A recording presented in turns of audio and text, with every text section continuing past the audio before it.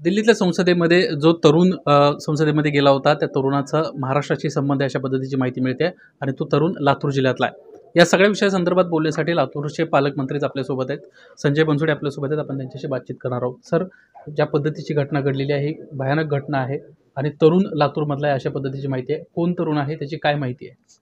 खरं तर आपल्या देशाच्या सर्वोच्च ठिकाणी अशा घटना घडणं खूप म्हणजे वाईट गोष्ट आहे. आणि त्याची माहिती प्राथमिक मी त्या ठिकाणी घेतली. आणि तो लातूर जिल्ह्यातील लातूर तालुक्यातील झरी या गावचा अमोल शिंदे नावाचा तो व्यक्ती आहे. आणि त्यांनी ही घटना त्या ठिकाणी घडवलेली आहे. आणि खरं तर याच्यामध्ये थोडासा तपास अजून करायला पाहिजे की त्याला कोणी पास दिला तो तिथपर्यंत कसा पोहोचला हे तपास संसद त्या ठिकाणी करते पण लातूर जिल्ह्याचा पोरगा असल्यामुळं मी स्वतः एस पीशी त्या ठिकाणी बोललो. एस पीने प्राथमिक माहिती मला त्या ठिकाणी दिलेली आहे. तो पोलीस भरतीसाठी सारखं ट्राय वगैरे करत होता आणि ते कधीही त्या पोलीस भरतीमध्ये तो पास झालेला नाही. थोडंसं त्याची काय पार्श्वभूमी माहीत त्याच्या आईवडिला त्यांनी एस पोलिसांनी त्या ठिकाणी विचारणा केली. त्यांच्या आईवडिलांना त्यांची त्याची काय त्या ठिकाणची माहिती नाही. आणि तो कुण्या पक्षाशी संबंधित आहे का ह्याचाही तपास आम्ही त्या ठिकाणी करतो आहोत. आणि नेमकं काय झालं आहे याची माहिती थोडीशी आम्हाला प्राथमिक आलेली आहे आणि कसून तपास करून त्याच्यावर योग्य त्या ठिकाणी कारवाई केली जाईल.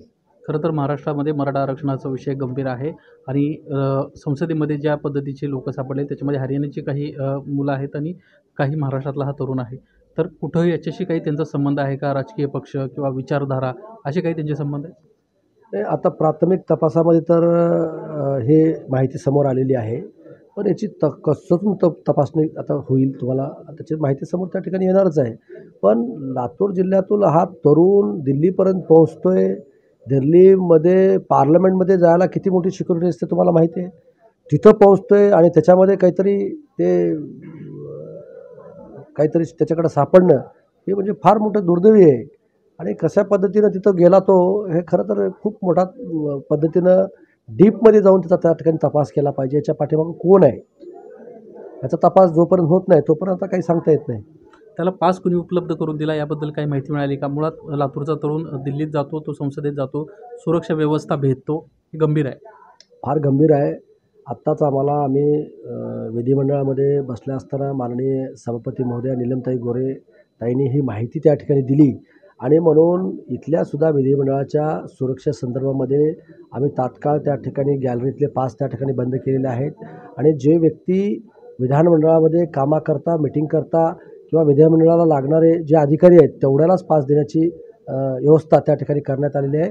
आणि गॅलरीतले तर प्रेक्षक गॅलरीतले सगळे पास त्या ठिकाणी बंद करण्यात आलेले आहेत. तुम्ही संसदीय कामकाज मंत्री म्हणून काम केलेलं आहे. सुरक्षा व्यवस्थेच्या बाबतीमध्ये सध्याच्या सरकारमध्ये कशा पद्धतीची परिस्थिती आहे?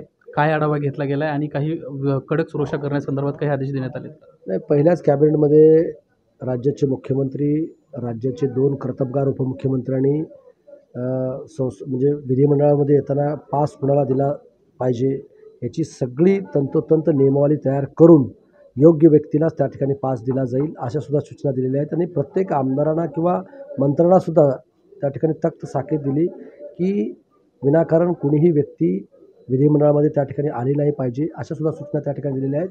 आणि माननीय देवेंद्र फडणवीस साहेब गृहमंत्री आहेत. एक कार्यक्षम गृहमंत्री म्हणून संबंध देशामध्ये त्यांची त्या ठिकाणची ओळख आहे. आणि तो त्यांनी आढावा घेऊन आज आठ ते आठ दिवस झाला अधिवेशन त्या ठिकाणी चालू झालेलं आहे. कुठेही अनुसूचित प्रकार त्या ठिकाणी घडलेला नाही. म्हणून चोख व्यवस्था नागपूरमध्ये त्या ठिकाणी आहे. म्हणून मी सगळ्या सुरक्षा अधिकाऱ्यांचं सुद्धा मी मनापासून या ठिकाणी कौतुक करतो. आपण पाहतो एकंदरीतच लातूरच्या तरुणासंदर्भातली माहिती दिलेली आहे. पोलीस त्याच्या घरी पोहोचले आहेत. त्याची जी प्राथमिक माहिती आहे ती गोळा केलेली आहे. मात्र तो कुठल्या पक्षाशी किंवा कुठल्या विचारधारेशी संबंधित आहे का? या संदर्भातली सध्या पोलीस माहिती घेत आहेत. निलेश बुदावली एबीपी माझा नागपूर.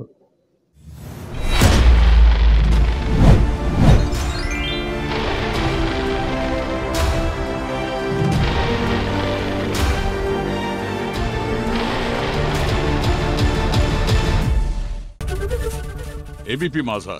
उघडा डोळे बघा नीट.